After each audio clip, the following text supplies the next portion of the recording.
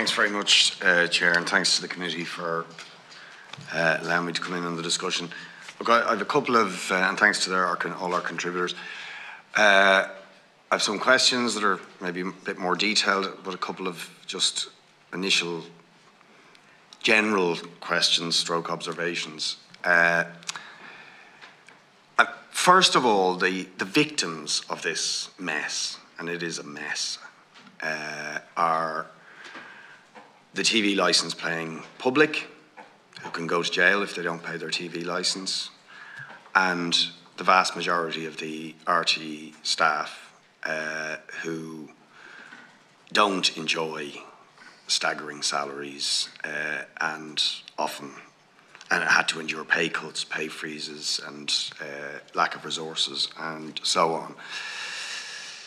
On that second group, uh, given that there is, there has been an acknowledgement from yourselves that this is a mess, that there's been some big, big mistakes made here, uh, and that something has to be done to reform uh, public RTE in order to protect public service broadcasting.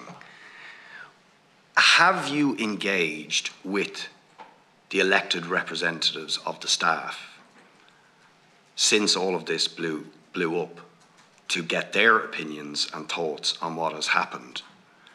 Uh, because my understanding is that hasn't really happened on any sort of formal level. Now, they're out protesting, they're very worried, and they're very angry. And I think, as a matter of absolute urgency, uh, the executive and the board need to listen to the workers and the staff in there who are victims of this uh, as to what you know is happening to them uh, and to listen to their ideas about what needs to change in RTE.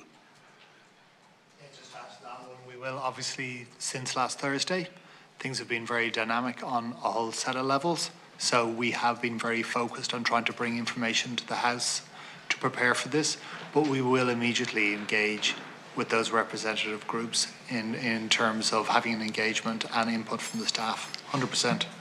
Yeah. Okay. Secondly, um, look, I am firmly of the view, and you're alluding to it, uh, is that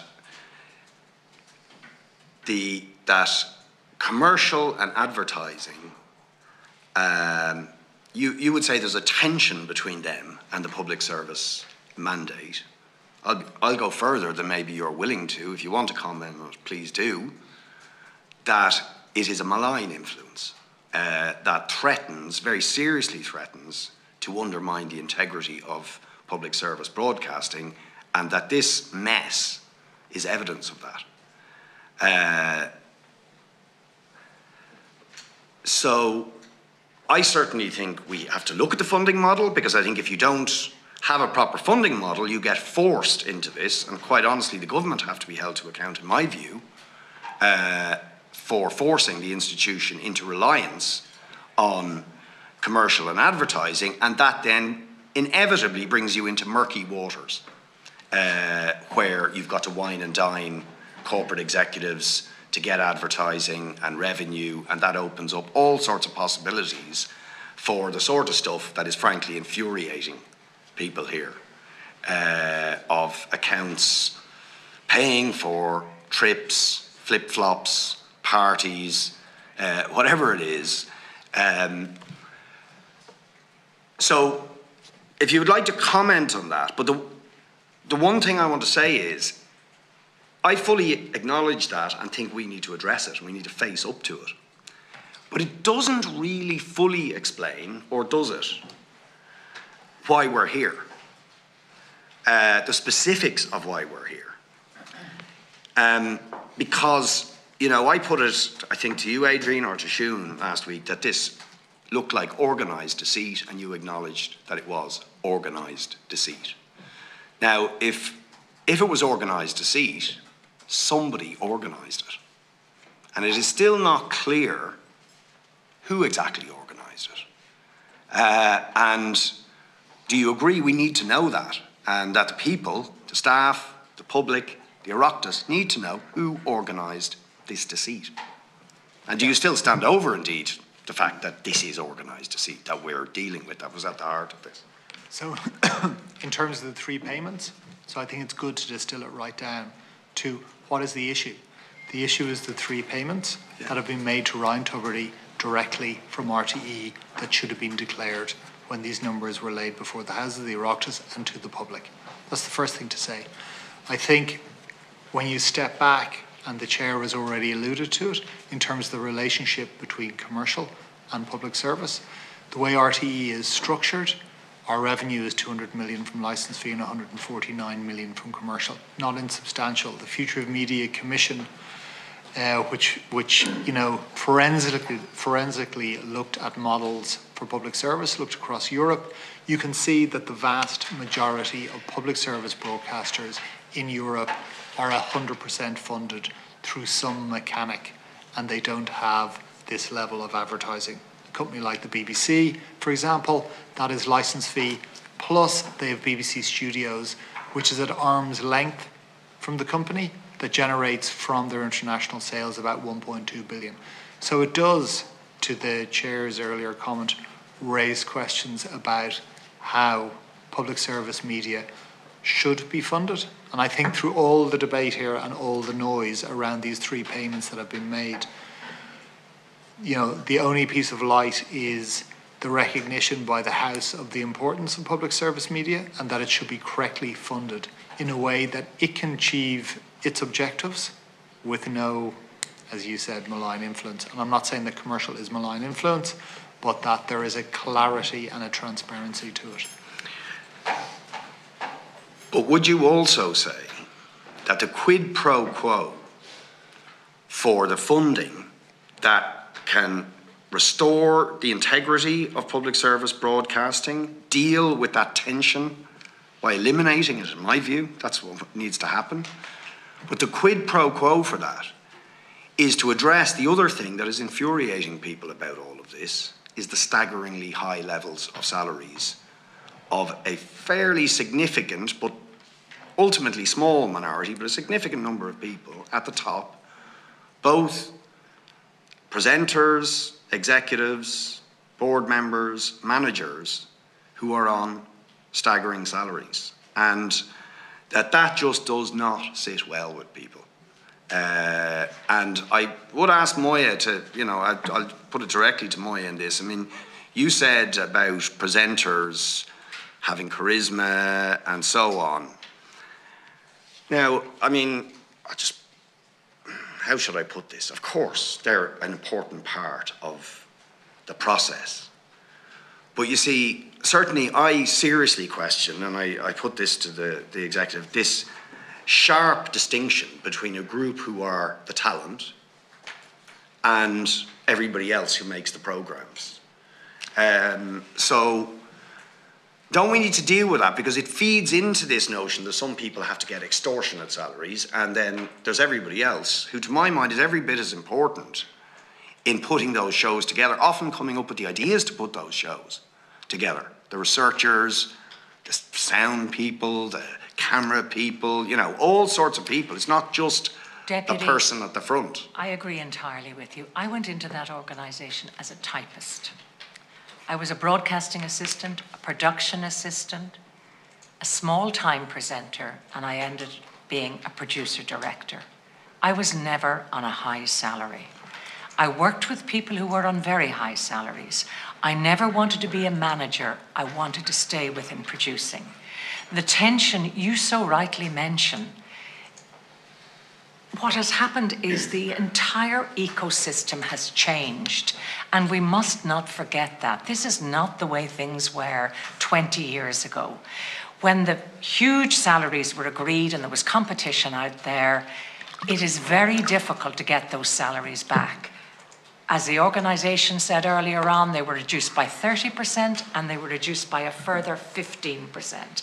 That's a 45% saving in all but one salary, where we know we didn't get the saving because there was a clandestine arrangement.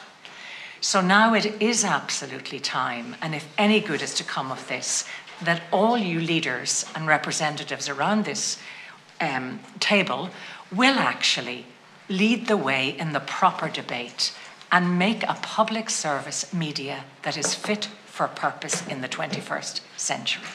And that we never have these conversations ever again, that people fe- feel properly remunerated, fairly treated, and their voices heard. Okay, I don't know if there's any further comment on that, but I, but I, I do think that means salary caps, to be honest, that bring the salaries way down further at that top level. I've got to be honest with you because I think it infuriates people looking at it.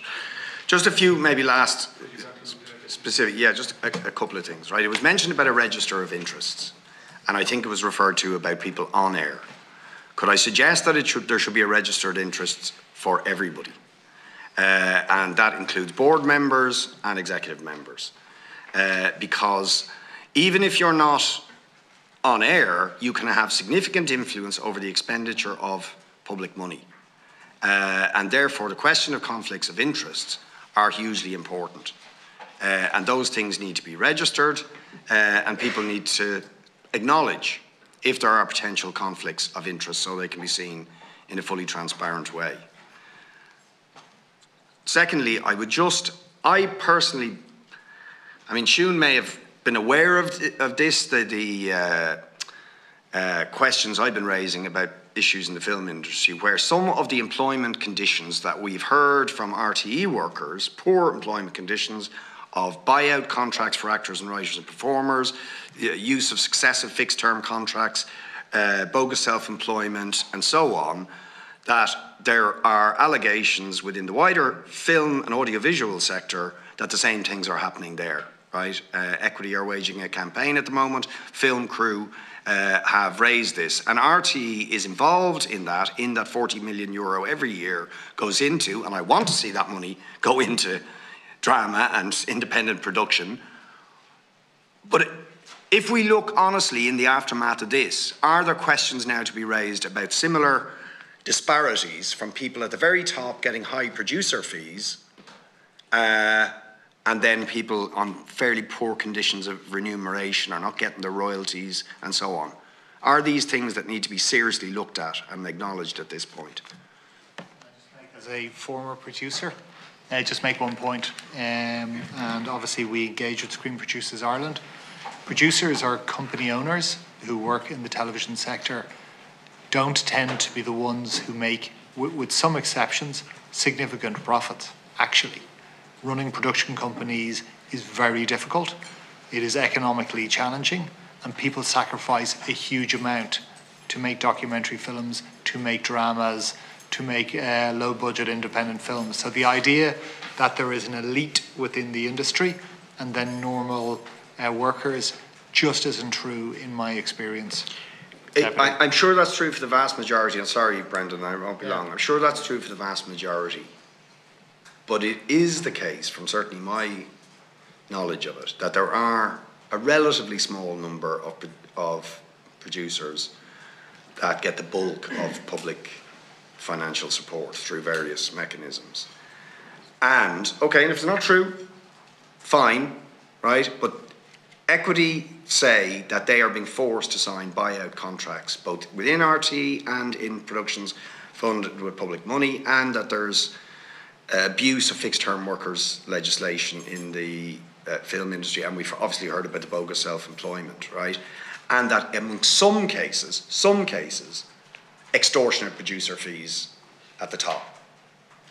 Are you saying that's not happening at all?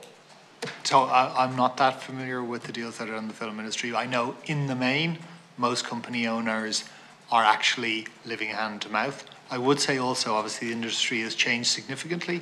So if you look at producers who are working for streaming uh, companies now, they will only get the contract with them if they have a buyout. So it's like a cost plus model rather than a royalty model. So that's what the writers' strike is about at the moment in the States. Yeah.